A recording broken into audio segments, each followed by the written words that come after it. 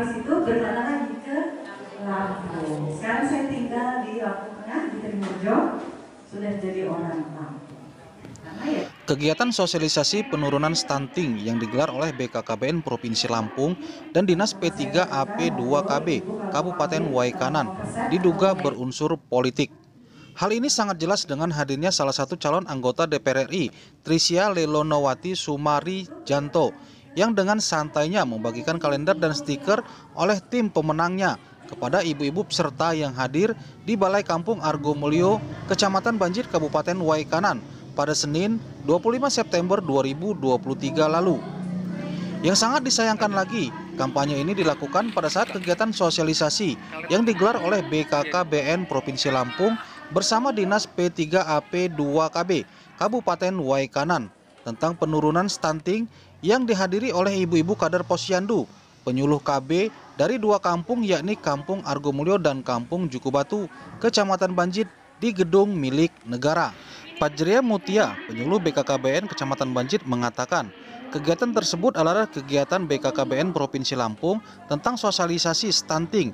Namun saat disinggung adanya calon anggota DPR RI yang berkampanye dalam kegiatan itu, dirinya mengatakan tidak ada campur tangan kampanye dalam kegiatan itu karena hal tersebut di luar dari kegiatan BKKBN dan calon anggota DPR RI yang hadir hanya sebagai narasumber dalam kegiatan tersebut, ujarnya melalui sambungan telepon WhatsApp. Izin Ibu, ini kami dari media. Oh, Oh, iya Pak. oh, Bagaimana izin, Pak? izin ini mau konfirmasi terkait kegiatan tadi, Bu. Iya. Oh, oh, gimana Pak? Eh, bisa dijelaskan, Bu, kegiatan kita tadi kegiatan apa, Bu ya? Oh, itu kegiatan BKKBN ya Pak tentang sosialisasi stunting. Jadi BKKBN kan sekarang main sektornya sebagai link sektor ini ya stunting ya dari uh, uh, wilayah peraturannya ya Pak ya nomor 72. Jadi BKKBN sekarang menaungi stunting. Nah tadi itu kegiatan sosialisasi dalam rangka percepatan penurunan stunting Pak. Oh iya. Eh, izin ini Ibu, eh, itu kan tadi ke- eh, kita hadir di situ. Iya benar. Ah, tadi kan ada yang hadir tadi eh, salah satu calon anggota DPR RI, Bu ya? Oh ya terus Pak. Ah, ah. Nah, di situ tadi kan kami Ah. hadir, itu kan ada pembagian stiker dan eh, kalender. Eh, ya. Nah, itu penjelasannya seperti apa, Bu? Ya, eh, itu di luar dari kegiatan kami, Pak, karena itu kegiatan kami kan sudah penutupan ya. Jadi itu sudah kegiatan administrasinya, terus acaranya sudah selesai. Eh, itu eh, dari ini Pak, dari memang dari tim mereka, tapi bukan dari tim BKKBN ya Pak, begitu. Iya, kok itu acaranya Oh, bisa tapi- ah, Enggak, yang kami pertanyakan kok eh, kok calon DPR RI itu bisa hadir di acara itu? Oh karena gini Pak karena kan eh, BKKBN bermitra sama Komisi 9 ya Pak Mm-mm. itu kan TA-nya ya Pak ya Hmm.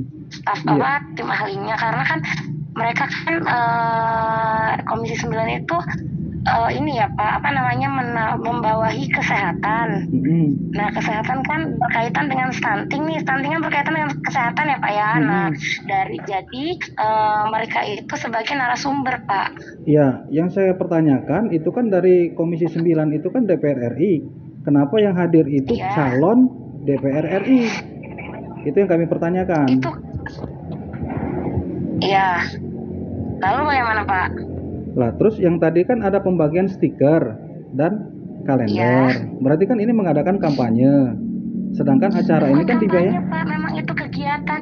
Itu memang kegiatan. Nggak mungkin dong, Pak. Kami dari instansi dinas, mengadakan instansi pemerintahan mengadakan kampanye ya, Pak. Nggak mungkin kan. Nah, itu memang kegiatannya eh, pure kegiatan berkaitan dengan stunting, Pak. Iya, Eh, di situ kan di sini begini, Mbak. Maksud saya begini. Halo. Halo gini Pak, saya kan lagi di luar nih, lagi beli makan. Ntar nanti saya hubungin kembali ya. Sebentar saja, nanti saya 10 menit lagi saya hubungin. Oke, siap. Eh, masih tetap eh, tim eh, dari Bawaslu melakukan penelusuran eh, untuk mengetahui peristiwanya seperti apa. Intinya kita harus melihat 5 w 1 hanya itu. Maksudnya, ya. Nah terkait untuk pengawasan kemarin dari kita di jajaran tiket terbawahnya itu mereka melakukan pengawasan atau tidak sebenarnya? Iya di setiap kegiatan eh, sebenarnya ada pengawasan di apa? Kita kan juga punya PKD. Iya. Anwasnya kebetulan Anwasnya juga kemarin lagi ada kegiatan di posisi apa? Sementara Pak, Pak, untuk ini pengawasan sementara sudah kita input ada nggak? Untuk penelusuran penelusuran sementara sampai sejauh ini? Untuk tim Eh, Iya untuk tim hasil penelusuran sementara tim ya. Oh belum ada, belum nyampe ke kita. Belum nyampe ke Nanti kita ya. eh, kita akan berdata setelah mereka turun. Terus terkait untuk terlibatan ASN juga kan melibatkan bukan hanya dari provinsi, ada dinas eh, yang terkait. Ya nanti Ya. kita lihat Hmm. Ba- bagian dari penelusuran itu kan melihat peristiwa siapa aja yang hadir dalam Hmm. acara apa, kemudian materinya apa. Hmm. Ya nanti kita akan apa akan pulang data tentang hasil-hasil dari. Hmm. Nah, secara konkret untuk penelusurannya apa yang akan kita gali? Untuk keterlibatan yang yang eh, Ya pertama, bersangkutan. pertama kita melihat acara, kemudian nanti kan itu ada undangan siapa, kemudian Hmm. narasumbernya siapa, penanggung jawabnya siapa. Ya. Terusnya itu sebagai apa sih? Eh, Hadir itu kita kapasitas? belum belum dapat ini dari penelusuran ini. belum bisa. Iya, kalau kita lihat dari media, dan beliau adalah calon legislatif dari DPR Partai. RI. Tapi kita akan pastikan nanti Hmm. seperti apa dalam dalam kapasitas apa Hmm. beliau hadir di sini.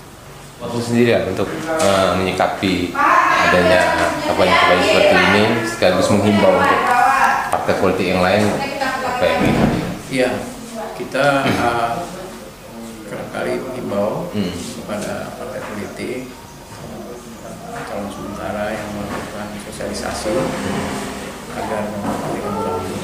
Hmm. Karena memang partai politik sesuai dengan pasal 79 partai politik mendapat sosialisasi.